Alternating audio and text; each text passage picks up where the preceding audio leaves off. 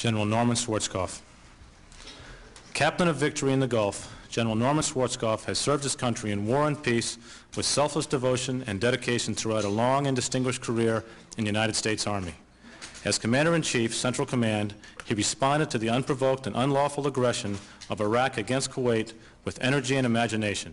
He led the largest coalition since World War II, integrating the armed forces of disparate countries, cultures, and training into a single military force and achieving swift success in, in Operation Desert Storm. He has sought to build bridges of understanding between the United States and the people of the Middle East. The United States honors this soldier who takes his place in history's roll of great commanders.